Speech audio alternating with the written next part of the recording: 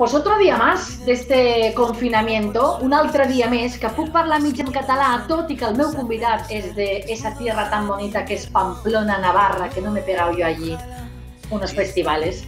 Bueno, vamos a dejar el tema. Tenemos a Paul Alon, que es de Pamplona, como yo decía, pero está ahora, hace muy poquito, viviendo cerquita en Barcelona. Paul, ¿cómo Eso estás? es. Muy buenos días, o buenas tardes, o lo que sea. Igual. bien. Aquí, aquí estamos. Aquí Buena estamos. vida, buena vida, buen Oye, pa parles el català molt bé, eh?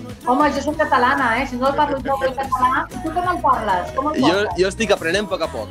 Doncs molt bé, no? No? Merci. Merci. Què et creus? Sí. Oye, ¿qué es la, ¿cuál es la primera palabra o primera frase que aprendiste en catalán, Paul? Yo creo que fue la de la de Merci, ¿qué te crees? En plan, cuando me dicen, oye, bastante bien, es como, sí, sí, ¿qué te crees? ¿Qué te crees, eh? Que yo para eso, muy bien. ¿Cómo llevas el cambio de residencia? Porque me contabas, Paul, justo antes de empezar, que hace poquito, poquito que estás en Barcelona. Pues claro, a mí me decían, Barcelona es súper bonita, tal, no sé qué, lo vas a conocer. Y yo, encantado, venga, para Barcelona, tal. Y entonces, claro, me mudo aquí el 1 de febrero, estoy los primeros días de mudanza, de ordenar, tal, no sé qué, y de repente a los días me quedo sin, sin, sin nada. Imagínate, yo, yo encantado, pero todavía no he visto Barcelona.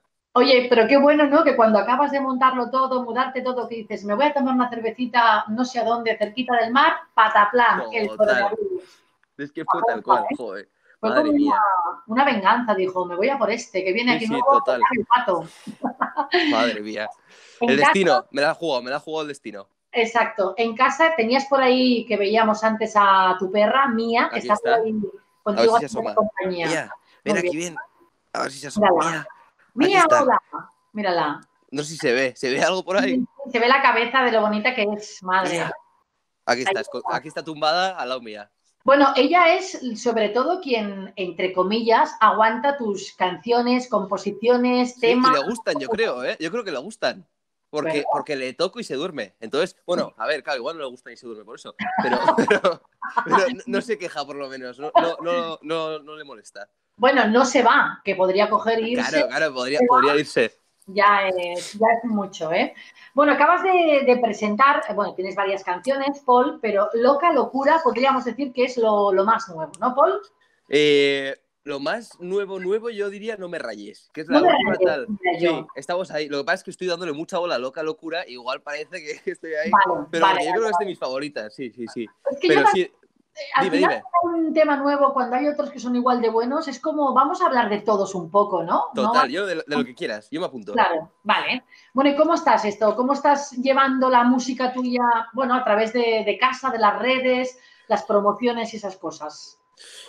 Raro, ¿no? Yo creo muy raro todo. Lo hago lo mejor que puedo estos días, eh, intentando buscar soluciones, yo creo. Pero, pero bueno, eso, raro todo, yo creo. En plan, la promoción y todo, ya no sé ni. O sea, claro, no estaba la, la gente preparada para esto, pero es que yo tampoco. Yo no sé realmente cómo gestionar esto ni cómo seguir haciendo promo y tal. Pero algo va saliendo poco a poco. Yo creo que, que lo hacemos como podemos. ¿De dónde sale? Bueno, tú has estado antes, Paul y yo, porque estábamos esperando esta conexión, hablábamos, Paul es de Navarra, pero ha viajado por un montón de lugares, vivió en Sí.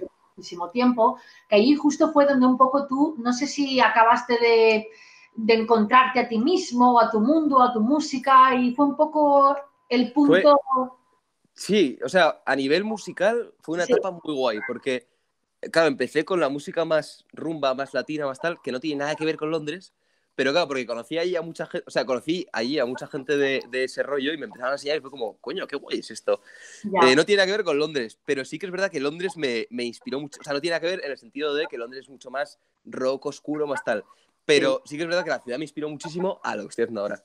Ya, hombre, manda huevos que tengas que ir a Londres a pasar. Eso, me lo dice todo el mundo, joder, Claro, es que Madre mía. final, un tío que vive en un país de la rumba, bueno, y ahora más en Barcelona, la rumba Claro, claro, sí, sí. eso, y se va a Londres, bueno, esas cosas que pasan, ¿no? De la vida, que Total. Sorpresas, ¿no? Inexplicable. Yo iba en el metro de Londres eh, escuchando al canijo y yo en plan, ah, mira, qué guay, total. Ya. Y claro, era como raro, ¿no? Pero Tú eres un, no eres un tío, pero que te encasilles en una cosa, ¿no? O sea, igual sí que la rumba es, eh, ¿no? Es lo que más te puede identificar o, o gustar, no sé. claro, Pero yo creo que te va todo a ti. o sea, yo creo que me encasillo, pero en vez de encasillarme en una cosa así, me encasillo en una cosa así. Entonces Claro. como, eh, me encanta el- los latinos, pero antiguos, rollo más eh, bolero, eh, mariachis, eh, todo esto, ¿no? En plan, el- como la- el latino clásico. Y me encanta lo que es la rumba, to- to- o sea, todo este tipo de género que es como orgánico, o sea, que no es electrónico. Ya. Y yo creo que tiene un poco ese sonido, ¿no? O sea, te digo, me encasillo. Sí, pero en un grupo así de grande, entonces es como... Ya. Sí, más o menos, sí. Es una casilla un poco trampa, ¿eh? Porque- Sí, un poco, un poco trampa, sí, puede ser, puede ser. trampa. Oye, dime dos, dos canciones que no tengan que ver nada contigo, Paul, de Sí. estos clásicos o de estas cosas que tú hablabas, que, bueno, que, que suelas cantar por casa o que estén en tu cabeza.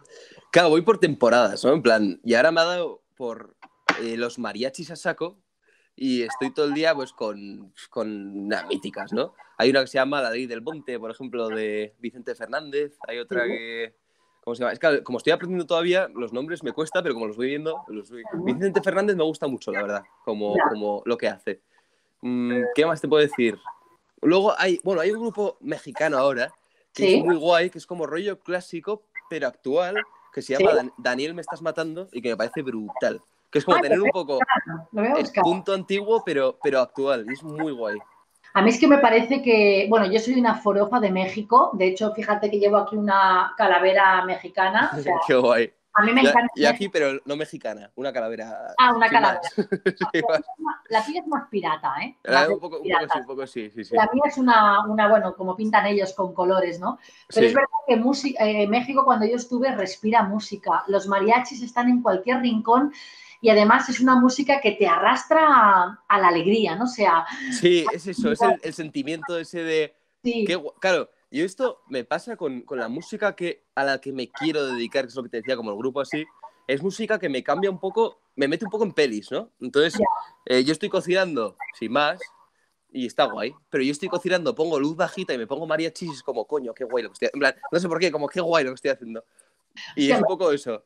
Me encanta, me encanta, Paul, la gente como tú que, que tiene una imagen así, pues entre romántico, moderno, paso de todo. Y que luego de repente lo ves cocinando y escuchando mariachis. O sea, me Igual no me pega nada, ¿eh? Pero, Pero es guay.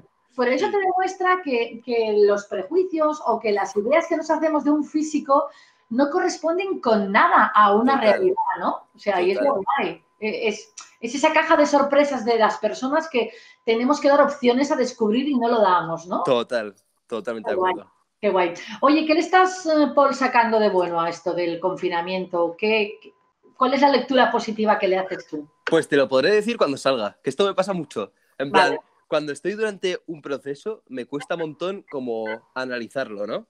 Y después cuando salgo digo, coño, y esto tal, no sé, te lo podré decir a la salida. Pero de momento, ahora mismo no sé ni qué es bueno ni qué es malo, estoy como en una nube de no sé muy bien qué está pasando. Ya, pero te lo estás tomando, bueno, con cierta alegría, por llamarlo así, Sí, ¿no? sí, sí, hombre. Escuchar mucha música, he aprendido a cocinar muchísimas cosas raras que antes como... La, la cocina siempre me ha gustado mucho, Sí. pero ahora estoy como dedicando muchas horas a probar, a tal, con especias y con cosas... Nada, que me gusta mucho, la verdad, soy muy friki de la cocina. Y los que viven contigo sufren tus cocinitas, ¿eh? Y tus experimentitos, ¿eh? Hay días que sí, hay días que no, ¿eh? hay días que dicen, coño, esto está muy bueno, y hay días que dicen, no te ha salido muy... ¿Cuál es, bueno, tu, joder. ¿Cuál es tu plato estrella que has aprendido en la cuarentena a cocinar? ¿O tu- El pollo de la abuela, joder. El pollo de la abuela. ¿Sí? Que... ¿Lo, ¿Cuento la receta? A ver si... Venga, va. Venga, Vale. va, cuenta. A ver. Es lo siguiente, ¿vale? Se, se pican dos cebollas muy pequeñas. Entonces, se echan a la sartén sin, sin aceite. O sea, solo en plan a fuego lento, pero sin aceite, rollo, que se queden un poco pochadillas. Lo echas a una perola todo. La- o sea, la cebolla determinada. Luego echas el pollo a trocillos o lo que sea. Y lo haces también sin aceite, todo a fuego muy lento para que se haga tal. Y también a la perola. Y luego mezclas en la sartén soja, vino dulce y agua. Y lo echas a la sartén con un poco de harina para que sea esto y lo dejas a fuego lento media hora. Y es bueno, brutal, ¿eh? brutal, te lo juro. Sí, bueno, sí. además con vino dulce yo creo que nunca he cocinado nada. Bebérmelo sí, así. Claro, claro. así Yo porque, porque me lo dijo la abuela, ¿eh? Me dijo, no, no, vino dulce con soja, no sé qué, y lo echas. Y yo, O sea, se llama receta de la abuela porque es de tu abuela. Porque es de mi abuela, sí, sí, Ah, el pollo de mi abuela. Qué Claro, yo bueno. en, en estos días, hablando con los abuelos por, por esto que hacemos, pues vídeos y tal, Llamada, sí. le decía, oye, abuela, ¿cómo se hace el pollo ese que nos haces los domingos? Y, me dijo, y me explicó y fue muy guay, la verdad. Qué guay, tío. ¿Ves? Es que estamos, yo creo que sacando cosas nuestras que ni sabíamos que podíamos sacar, ¿no? Es muy guay, eso sí. Voy sí, a probar a pintar y de repente ves que, bueno, que no pintas bien, pero tampoco pintas No, no, total, total. Sí, Y sí. vas probando y dices, jo, esto es, siempre nos quejamos de la falta de tiempo y ahora que la tenemos, pues vamos a... a- A descubrir, a aprender, joder. ya. Total. Sí, sí. Por Cuando el mundo exterior se abra, que parece que empieza la cosa a ver un poquito de luz, ¿qué te gustaría encontrar? O sea, ¿cómo te gustaría que fuera el mundo? De cómo lo dejaste. Lo No que venga. Ni de lo que venga. Yo soy, yo soy muy de lo que venga, rollo. Me adapto a lo que, a lo que vaya viniendo. Porque no hay que esperar nada. Rollo, hay que ir viviendo y lo que llegue, pues llega y ya vas aprendiendo. Cuando esperas cosas, ya empiezas con, como Ya, con conceptos de esto tiene que ser así y así, entonces te Ya. rayas y sé qué. Cuando no esperas nada, vas viendo y dices, coño, qué guay esto. Entonces yo creo que es un poco eso, en plan. "Ah, qué guay esto. De. Hombre, pero sí que a nivel musical, ¿no? Que pudieran haber Sí. conciertos y que el IVA, por ejemplo. Hombre, joder, si, pudiera, vamos, que abrieran todas las salas y todas las discos. Pero claro, obviamente es súper eh, contradictorio, ¿no? En plan, para que esté todo el mundo bien. Ya, tú acabaste el año bien, con salas llenas, con conciertos súper chulos. Tú ya te, Cerramos. tú eres un Sí, tío dime. Paul, digo, tú eres un tío listo porque dices, esto el 19 lo voy a acabar bien. Ya el Claro, 20 claro, sí, sí, hombre. El 20 dije, como va a venir una pandemia, de momento cierro bien el 19 y luego ya vemos. Muy bien, muy bien. Contento con, con todo, ¿no? Como, Muy contento, muy agradecido y muy contento, la verdad. Ya, O sea, no me lo esperaba para nada porque eh, ha sido todo muy natural, ¿no? Pero es muy loco, rollo. Cómo ha ido poco a poco la gente sumándose, sumándose. Y es muy bonito, coño. Cerramos Caracol en diciembre y fue increíble. Sí, sí, fue muy guay. Claro, es que al final, eh, fíjate la de músicos y, y músicas que hay en el mundo para que tú hagas un caracol, una sala caracol de Madrid, que para la gente que no lo sepa, Sí, tengas lleno. Es, y viniendo tú, como decías, como pasito a pasito, de una forma claro. muy Sí, discreta, sí.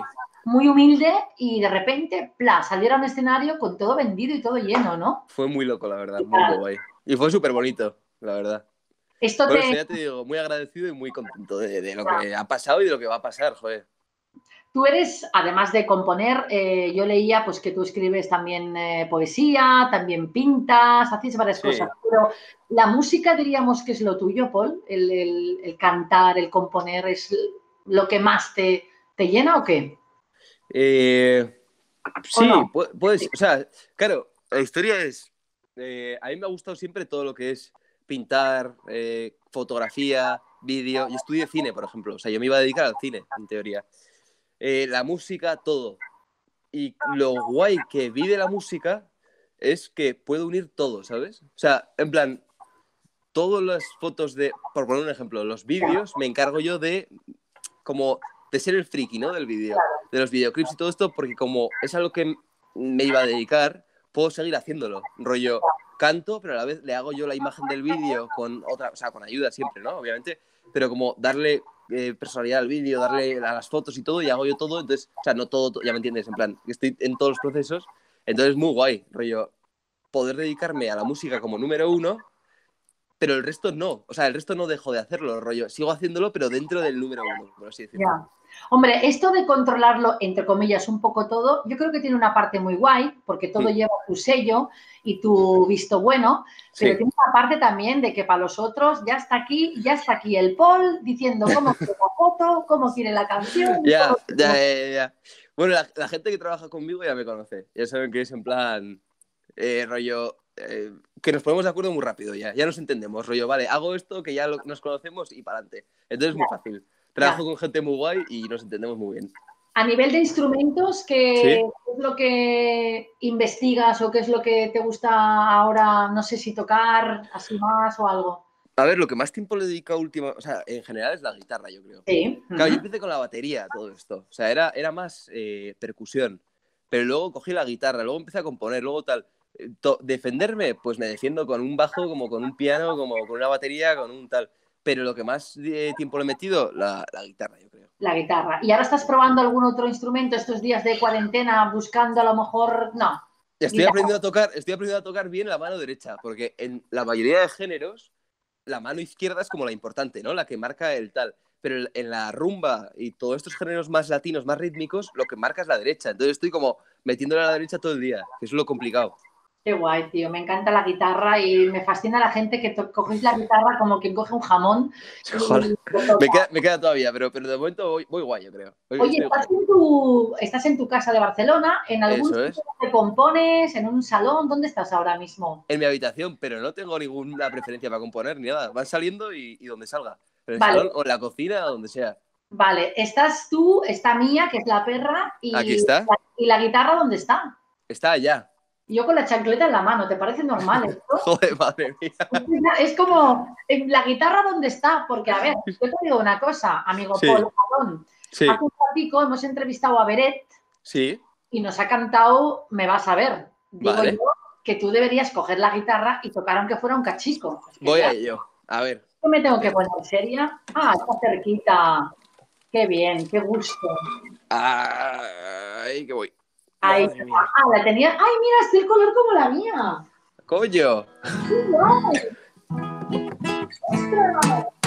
contenta, ¿verdad? ¿eh? Fíjate. ¡Qué guay! La chancleta ha servido para mucho, ¿eh? Ha sido como. no, total, total, ¿eh? A por la guitarra. ¡Qué guay! Vale, entonces. Ahí va, que se despierta esta. Hola, mía, ¿qué tal? ¿Ves? Se ha puesto en modo concierto. En modo ¡Hombre! vale, entonces, ¿qué quieres que te, te toco local cura? Venga, Venga, y no sé si, cerrar la ventana, los vecinos me dirán algo. Va, yo voy, a cerrar Es una buena hora. Yo creo que sí. Está un poco desafinada, pero da igual. Mientras se entienda. Vale, vamos. Ojalá que no sea el de las flores, pero sí el loco que pinta tus paredes de colores, que te quita la sed, que te hace temblar. Ojalá. Pa, pa, pa.